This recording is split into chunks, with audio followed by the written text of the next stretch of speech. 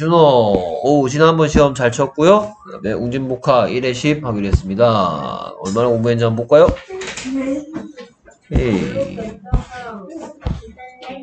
네. Wow. 근데 시험 왜 안 쳤어? 시험이요? 어. 저요? 시험은 어, 그냥 뭐 안 쳐도 다 된다. 아예 안 쳐도 오케이. 그래서 읽고 뜻 슬라임 sled. 뜻은 sled. 뜻은 설명 썰매죠. 잠깐만요. sled, 그러면 이가 무슨 소리 내고 있어요? 에 에, 뭐 중에서? 이 에오 중에서 대표 소리 에가 됐네요. sled.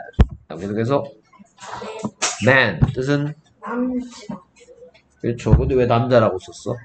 Men, 남자들인데. 자, 영어에서는 한 개일 때하고 여러 개일 때하고 아예 단어의 생김새가 달라지는 게 있어. 그 중에 하나가 man인데요. 이렇게 하면 남자 하나를 얘기하는 거야. 네. A가 애 소리 나는 거야. 그리고 얘가 이렇게 모습이 man 이렇게 바뀌면 E가 애 소리 되는 거고 남자들이 되는 거야. 오케이. 자, 영어에서는 단수하고 복수의 형태라는 게 있어. 하나일 때를 단수라 그래. 책은 셀 수 있지. 한 권일 때는 그래서 어북이라고 얘기해. 어가 하나란 뜻이야. 그래서 두 개일 때는 어떻게 하냐? books 이게 하나란 뜻인데 어는 이제 쓸 수가 없고 여기다 이렇게 s나 es를 붙이면 뭐뭐들이 되는 거야. 근데 man 같은 경우에는 여기에다가 s를 붙여서 여럿이 되는 게 아니고 단어의 모습이 이렇게 바뀌는 거야. 그래서 이거는 남자라고 쓰면 안 돼. 남자들이라고 써줘야 돼. 오케이. 그 다음 계속해서 pen 뜻은 펜은 펜이죠. pen, 그러니까 이가 무슨 소리 되고 있어요? 그렇지. 그 다음 계속해서 jet 뜻은 제트기죠. jet, 오케이. 제트 비행기. 아주 빠른 비행기죠. 그 다음 net 뜻은 그물 그물. 이가 무슨 소리 되고 있어요?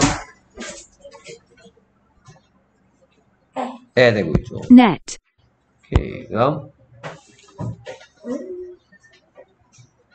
어 그 왜 vet 뜻은 수입 수의사 가 뭔데? vet, 왜 수의사가 뭐 하는 사람이야? 수의사 어. 너 몰라? 동물병원 의사 선생님을 수의사라고 하죠. 몰랐어요? 자, 근데 준호 글씨 쓸 때 V, V하고 R하고 너무 비슷하게 쓰고 있어. 너는 V 이렇게 쓰고 R은 이런 식으로 쓰잖아. 이 뭐가 V인지 어떻게 알겠어? R은 왔던 길 되돌아갔다가 이렇게 하는 거야. 알았습니까? 그 다음엔 pet 뜻은 애완동물. pet, 가만 보니까 E가 계속 애 소리 나는 애들 뭐 하는데?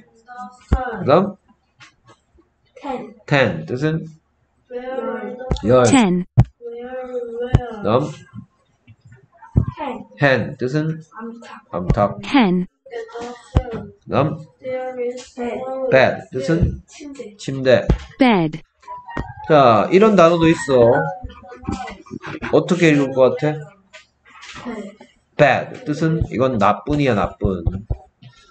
그러면 bad bad 한번 해요. bad bad. 나쁜 침대 그렇죠 나쁜 침대가 되겠죠. bed, 오케이 그다음 네 red 뜻은 빨 붉은 붉은 빨간. red, 오케이. 어 잘했습니다. very good good job. 소리 조금만 다.